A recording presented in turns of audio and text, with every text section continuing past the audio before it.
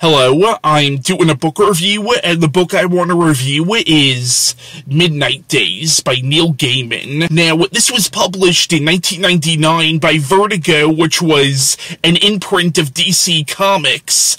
Unfortunately, Vertigo was discontinued in 2018. Midnight Days collects five comic book stories written by Neil Gaiman and published by DC Comics, and all five of these are, of course, set within the DC universe, or at least they're set in the Vertigo universe, which I know the Vertigo universe is technically the DC universe, but I think later on it kind of got retconned into its own continuity, and truth be told, I kind of like to consider stuff like Neil Gaiman's Sandman, or Alan Moore's Swamp Thing, or the Lucifer comics, or the Hellblazer comics as kind of being in its own timeline, separate from the mainstream DC continuity continuity, only because the main DC continuity to me is so ridiculously convoluted. So, the first story contained in this collection is called Jack in the Green, which is actually a Swamp Thing story.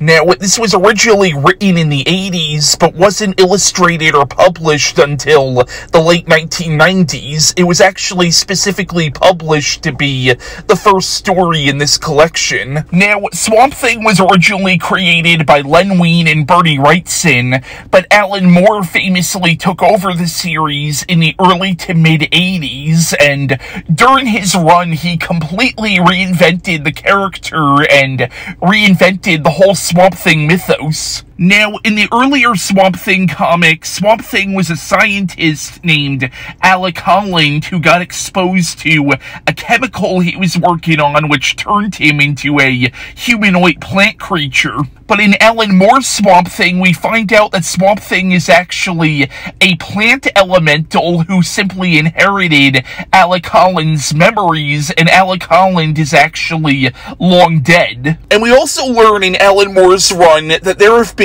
other Swamp Things in the past so, this story, Jack in the Green, is set in the 17th century and deals with an early incarnation of Swamp Thing comforting a friend of his who is dying of the plague. And the story is really about this version of Swamp Thing confronting the horrors of the world. The story is very short, so there's not a whole lot to say about this one, but it is really good and would have fit right at home during Alan Moore's run on the series. In fact, the story is actually illustrated by Stephen Bissette and John Totleben, who illustrated most of the Swamp Thing issues during Alan Moore's run. Neil Gaiman got them to come back for this story. The next story contained in this collection is called The Brothers, and this was originally published as one of two stories that Neil Gaiman wrote for Swamp Thing Annual, issue number 5, which was published in 1989. And this story was illustrated by Richard Piers Rayner and Mike Hoffman. Now, after Alan Moore's run on Swamp Thing was over and done with, Rick Veitch took over as the head writer of that series, and after Rick Veitch's run, Neil Gaiman, along with Jamie Delano, were supposed to take over as the head writers of this series, and this story was meant to be the first issue of what was going to be Neil Gaiman and Jamie Delano's run, but unfortunately, unfortunately, things didn't really work out the way they wanted it to, so this ended up being more of a standalone story. This story features the character of Brother Power the Geek, who was originally created by Joe Simon and first appeared in a short-lived comic book series in the late 60s that I think only ran for like two issues before it was canceled. Basically, Brother Power was a rag doll that was struck by lightning and came to life and ended up running for Congress. And in the beginning of the story, we follow Chester and Liz, who are major allies of Swamp Thing, and they find a flyer for Brother Power, and Chester's like, I wonder whatever happened to him, and Liz is all like, you realize that wasn't real, right? That was all some joke, and Chester insists that Brother Power was real, and it turns out that Chester was right. It turns out that Brother Power was launched into space years earlier, but now his spaceship has come crashing down to Earth, specifically in Tampa, Florida, where it causes a lot of damage. And in this story, it's revealed that Brother Power is, in essence, kind of a similar creature to that of Swamp Thing. He is an elemental, only he's not a plant elemental. Instead of making his body from plants, he makes his body from man-made objects, like, usually like fabrics and stuff like that, but he can also build bodies from steel and concrete. And this is becoming a major headache for the government, so the government contacts and, in essence, threatens Abby to get them to help them take care of this problem because they realize that Brother Power is a similar creature to that of Swamp Thing. And a lot of the story really focuses on Chester and him trying to uh, kind of come to grips with the fact that the 60s are over, and in a lot of ways, the counterculture movement did lose, but in other ways, the fight is still going on. And a lot of the story also focuses on Chester's relationship with Liz. Now, if you've read Alan Moore's Swamp Thing, you would know that before she met Chester, she was in a very toxic and very abusive relationship with this guy named Dennis, who basically kept her prisoner for several years, and she's suffering from severe PTSD because of what Dennis did to her, and Chester, while he is a good guy, he's also terrified of Liz eventually getting her life together because he's afraid that if that happens, she won't need him anymore. But this was a really good story, especially if you are a fan of the Swamp Thing comics, namely Alan Moore's run, because this really does feel like a good extension of a lot of the same themes that Alan Moore tried to touch on during his run on the Swamp Thing saga. Now, there is an appearance in this story from a Swamp Thing, but it's not Alec Holland. It's actually the same incarnation of Swamp Thing that we were introduced to in Jack in the Green.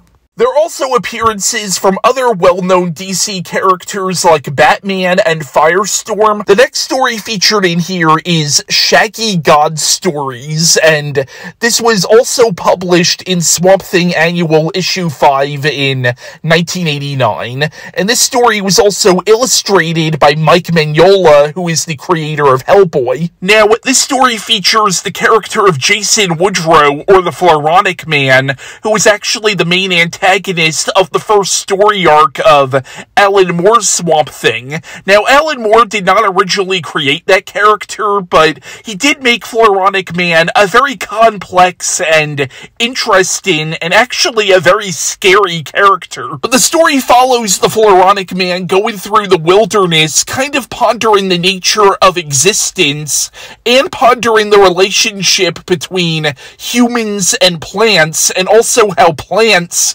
actually play pretty significant roles in certain biblical or mythological stories. And in the story, we see Woodrow trying to reconnect and reconcile with the green, which is sort of this collective consciousness that all plants on the earth share. But this was a pretty good story, and you actually find yourself feeling really sorry for the Floronic Man by the end of it. The next story featured in the collection is Hold Me, which is actually a Hellblazer story first published in Hellblazer issue 27 in 1989. The story was also illustrated by Dave McKean. Now, I actually talked about this story already because this was later collected in Hellblazer Volume 4, The Family Man, which I did a review on almost a year ago now. Now, the Hellblazer comics feature the character of John Constantine, who was originally created by Alan Moore, Stephen Bissette, and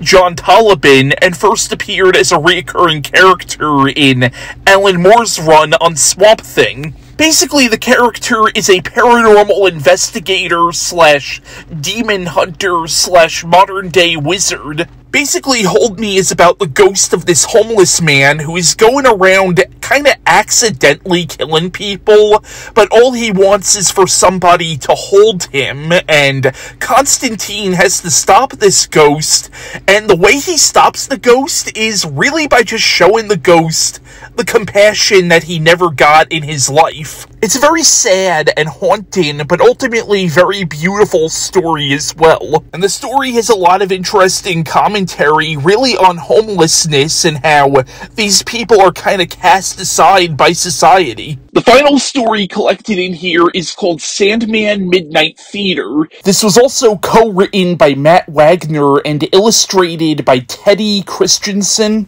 And this features the character of Wesley Dodds, or the Sandman, who was originally created by Gardner Fox and Bert Christman and first appeared in comics from the 1930s, but this crosses over that Sandman with Neil Gaiman's Sandman series, which is completely separate from that, although ironically, uh, the Wesley Dodds incarnation of the Sandman does actually appear in Volume 1 of Neil Gaiman's Sandman, and it's implied in that Morpheus is kind of responsible for the Gardner Fox incarnation of Sandman. Now, later on in the 80s, I think, there was another superhero called the Sandman, whose real name was Hector Hall, who ironically also appeared in Neil Gaiman's Sandman. Now, in case you're unfamiliar with Neil Gaiman's Sandman, basically Neil Gaiman's Sandman is about this being called Dream of the Endless, or